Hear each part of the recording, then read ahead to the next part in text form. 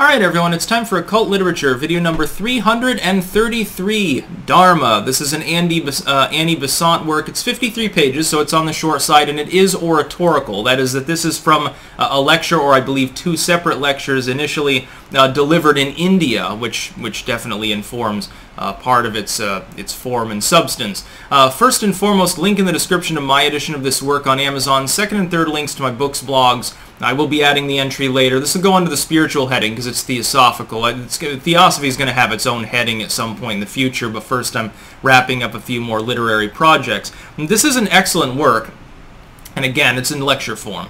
Um, and it dwells mainly, the first part explains the concept of Dharma loosely, uh, so sort of, it's karma, but it's a little bit different how it's explained, and I'll, I'll get into the basic uh, premise here. Because she was delivering a lecture to people from India, people of Hindu background, you know, theosophists, but uh, on that Hindu side, and this was sort of Besant's particular spin on it. Blavatsky um, delved mostly into like the Atlantean, like the root race thing. That was her main interest. Um, Steiner went off. He, he develops anthroposophy later. Um, he, he likes to talk about the astral, sort of uh, anthropological in some cases. Leadbeater appears to have been mostly informed by, by certain Buddhist uh, premises and, and also mediumship and things like that. So you have these different major figures within uh, mysticism at the time. They have different focuses. Besant's was definitely Hinduism, actually. Her adopted son, she thought would be the next avatar. and he denied this and, and went off and did his own sort of ascetic lifestyle and did not try to become a god-man. Uh, anyway, uh, the main premise of this, this entire second half of the work basically talks about the Hindu caste systems, uh, for instance, like the Shudra, the peasants, um, the Kshatriya, which are, are sort of like the warriors and political leaders, and Brahma and so forth, the Brahmin, uh, and how these roughly equate to the concept of Dharma, which is that, for instance, with a Shudra, um, as, as a peasant, a laborer, servant, that, that particular caste of society. The idea is that person can be spiritually upright simply by obeying. The idea is that uh, their dharma can come from that. That's where they are in their spiritual development. And so to say to them, well, you have to be brave like a Kshatriya, uh, you have to be an ascetic and, and adopt veganism and live a severe life out in a cave and, and act like a, a Brahmin or something, or you, you have to be an Aghori. It wouldn't, it wouldn't make sense because their spiritual development doesn't require that they do that. All they're required to do is obey. Then you have the next class, I can't remember the actual name of it, the, mercantile class. They're supposed to, there's ambition involved, there's money, work, hard work, but not, not, not the kind that a servant would do. Um, ownership, being fair in, in your trades and so forth, making sure to be upright in the fiscal sense, not screwing people over. That's their dharma. And so if they're, and so the Shudra uh, if they grifted a little bit off the top on their pay, it doesn't affect their dharma necessarily in the same way that it affects someone who's mercantile.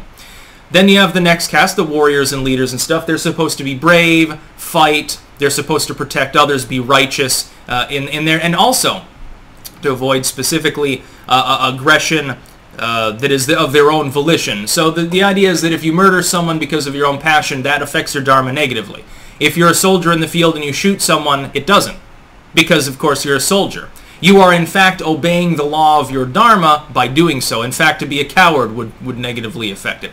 You're not required, though, to be still and peaceful and meditate and stuff. You're not expected to do the things that a spiritual Brahmin would do. And then you have the Brahmin, which is the highest caste, uh, the most spiritually developed, according to the Hindu tradition, although the caste system is beginning to fall away, uh, as people realize that it's, it's horseshit, basically uh, I'm just going to come out and say it. The concept of castes that you're born into isn't even necessarily spiritually speaking uh, uh, necessarily uh, the proper interpretation of the basic dogma. That's the way it was politically used. Of course, by the people that were Brahmin and didn't want to work as hard, or people that were Kshatriya, and, and of course they wanted the political rulership. Well, it was very good for them. Very bad for the people at the bottom. And then you have the untouchables. Besant doesn't cover them. I guess with the untouchables, uh, to deprave yourself is, is your dharma or something. You're supposed to scoop up cow poo or something like that. It, it's kind of bizarre the way it was incepted. And so the Brahmin at the top in their conception uh, is meant to be holy, essentially. Meditate, ascetic, great restraint, no violence, um, no, no profiteering, Uh, you don't need to do your own physical labor necessarily, but you can go wander off into a cave to meditate for the next month. Uh, you have to be upright and guide others and do the best that you can to be very spiritual, no lust, no no drugs, all of these things are disallowed. Things that wouldn't affect maybe a Shudra or a Kshatriya on the same level, they're Dharma. Uh, the, the potentiation of the effect on Dharma rises as you go up through the echelon. Now, uh, is this basically a cop-out to explain why certain it's basically Plato-esque, isn't it? Uh, some people are made out of iron, some people are made out of copper, some people are made out of gold, and this is why there are different classes of people. It's sort of intellectually the same. And of course, when you take that system and you say, well, it's not based on situation of birth, it's based on that person's innate characteristics, you'll see that develop through childhood essentially. That's more appropriate. That's that's more maybe historically accurate if you're going back thousands of years to before political intrigue really uh, takes hold and, and the system is arguably corrupted.